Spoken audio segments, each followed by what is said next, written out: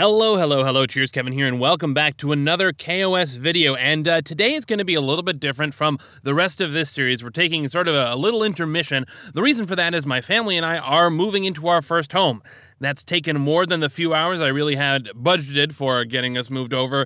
So, uh, well, some other things have uh, had to go by the wayside temporarily. Uh, we didn't have a video last week, and uh, today's is going to be a little short. In fact, we're going to answer just one question because I want to cover this before we move forward because I think that it's important. It's it's a goal for me that this series should be accessible and helpful for people who are new to KOS. And we're going to tackle uh, probably the most common confusion um, or issue that I've seen people struggling with. It's been asked um, in the comments. I've seen it asked on the subreddit. So let's talk about it. What is the difference between local, global, var, set, and parameter? What are all of these things? So in our code, we have variables where we give an, an identifier. We say, I'm going to have, I have some data. You know, maybe I have a number, um, but I want to save it in something where I, so some identifier so I can refer to it later. And so we say declare identifier to expression or declare identifier is expression or declare. There are all these different ways of saying the exact same thing. All of these are legal declare statements. They are have identical meaning to each other. These have identical meaning to each other. Don't worry about reading this too much because we're going to go over a, a, an example in the in in our own code. But the point that I wanted to to make here really quick is part of the confusion with local variables, global variables, this declare keyword, and what all of this means and why you use one over the other is that these six versions of code are identical, and these four versions of code are identical.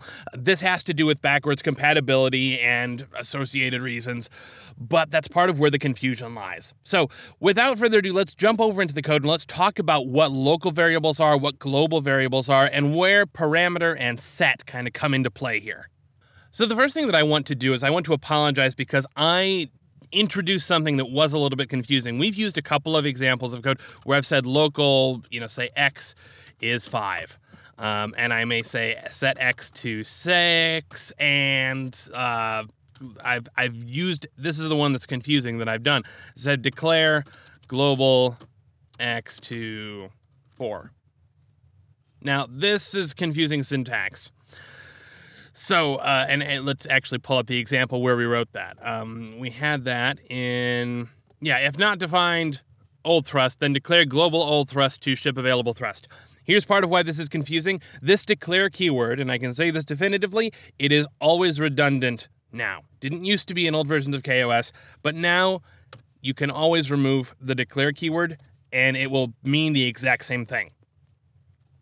Also, you can use global blah to this, or you can also say is this.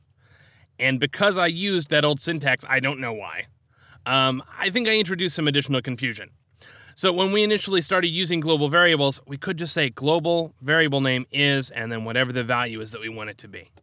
So that's real quick in our existing code where maybe I contributed to some of the confusion there. Okay, so let's talk about what these variables, uh, what these keywords actually mean.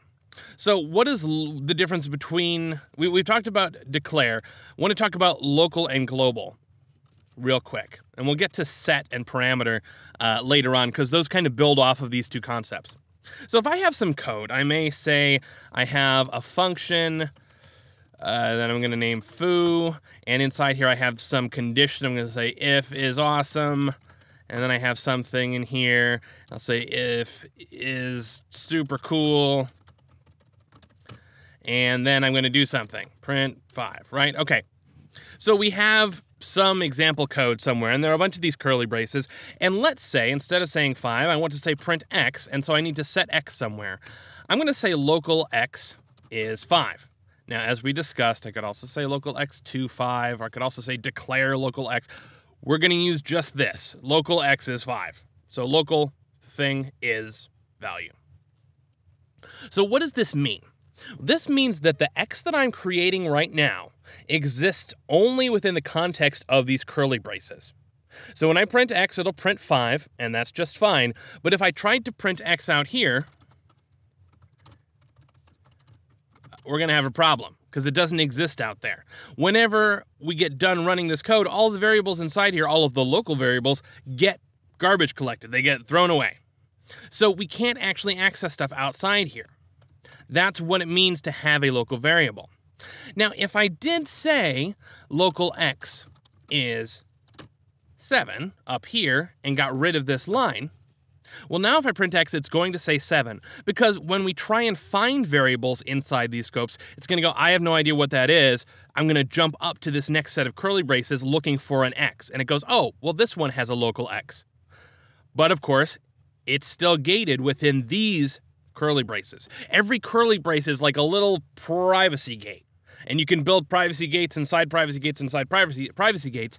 You're not going to bleed these variables outward, but anything inside your little area can can access it. So I can get access to this X because I'm inside this is awesome brace. But if I put this X inside here, then I can't access it out there. And if I try and print X here, this is now going to cause a problem. One other thing that's useful about local, though, is that I could say local X inside here is 5. And then I could print X here as well, what I'm doing here now is I'm saying, okay, this is awesome curly brace set has a local x and I'm setting it to 7. Then we jump into this thing and we say, all right, I'm going to create another x, but this is not the same x. This is a private x that's only in here. And I'm not going to modify this external one. So the useful thing here is that I don't have to worry, hey, maybe somebody else already used this variable name because I'm saying local I'm saying, hey, just create this little variable inside my private space, set it to something, and let me use it.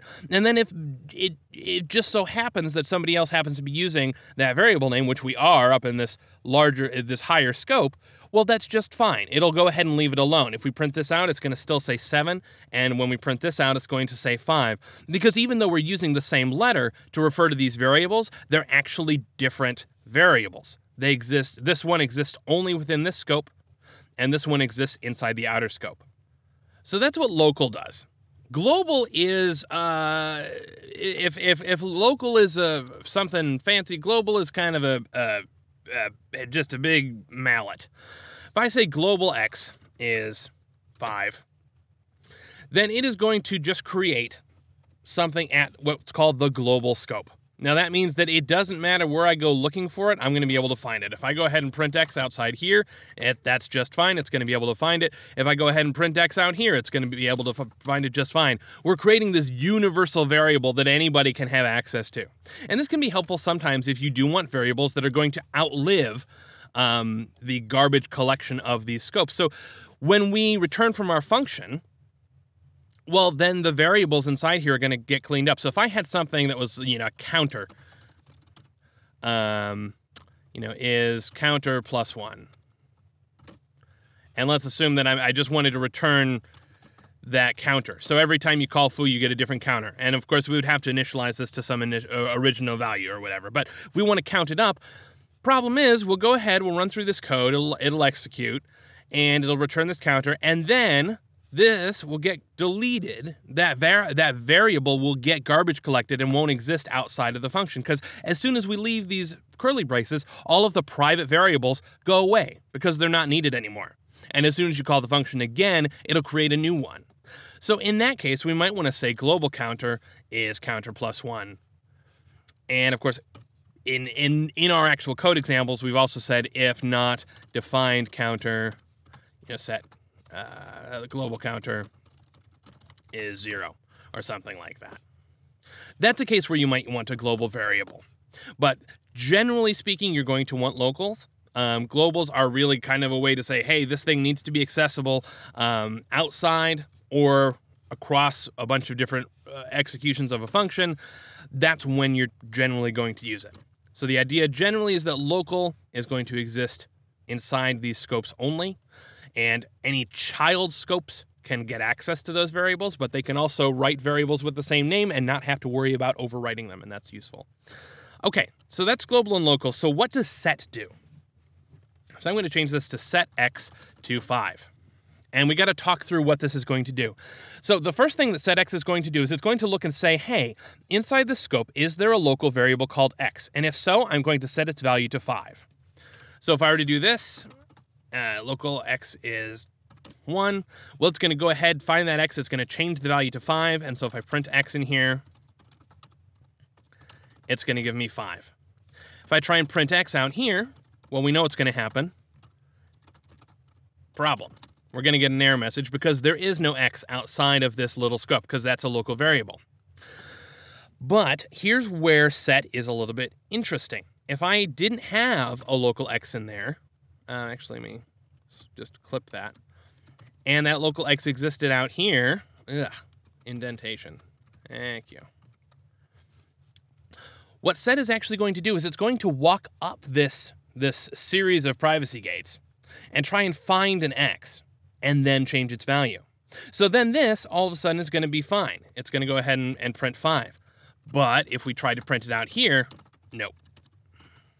So what, it, what set is doing is it's walking up these trees and looking for the nearest uh, the nearest x.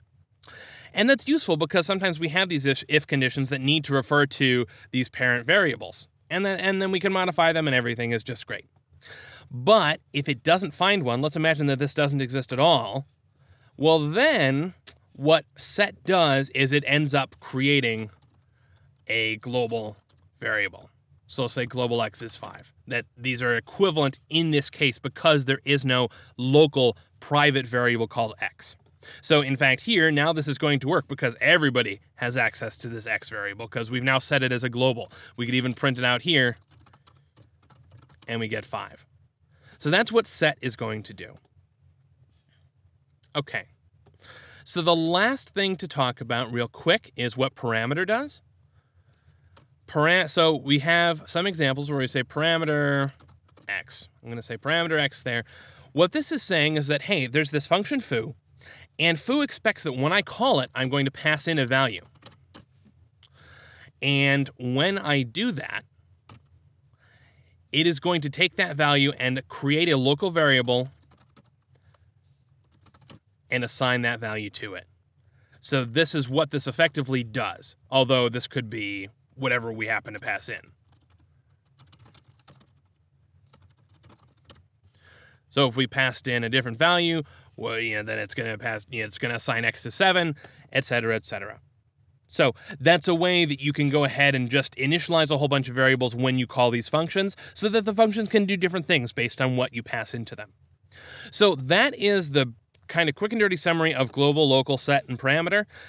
Of course, this is another case where you could say declare parameter because there are multiple ways in this language to specify things. And by the way, this isn't something specific just to KOS. This is usually something that is confusing in a lot of different programming languages, and there may be multiple ways to do something, which makes things a little bit more confusing. In any case, when you're looking at code examples and you see declare, you can safely remove it as long as you're running under a fairly current version of KOS, and everything will operate exactly the same way. Now, there is one tiny thing that we haven't talked about, and that is the lazy global directive.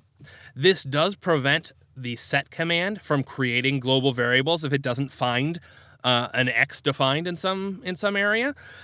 I'm not going to cover that because I think it's confusing and I think it's not worth uh, necessarily spending a lot of time on. I don't think you need to really worry about it. If you're interested, you can go ahead and take a look at the docs and read in for yourself. But that's going to do it for me. Uh, when we get back, we will uh, start working on getting our maneuver script uh, a little more optimized. We'll start looking at some of the math and physics and making things a little bit better. But I wanted to make sure to stop and really explain what local, global, set, and parameter do. And uh, yeah, also just making sure that we will try to use very consistent syntax going forward just to make sure that we don't confuse fact, that's that's a good example. We're gonna say global blah is something instead of two, although they all work. It's gonna be easier to understand if we try and uh, retain some consistency, and so I'm gonna try and do better about that in the future. But I uh, think we're about halfway through um, our introductory series. looking forward to getting back to it, but uh, yeah, that's going to have to, uh, you know, take take a little bit of a backseat to getting over into the new house and getting everything set up. So I hope to see you then and happy flying and coding and all of those things. Cheers.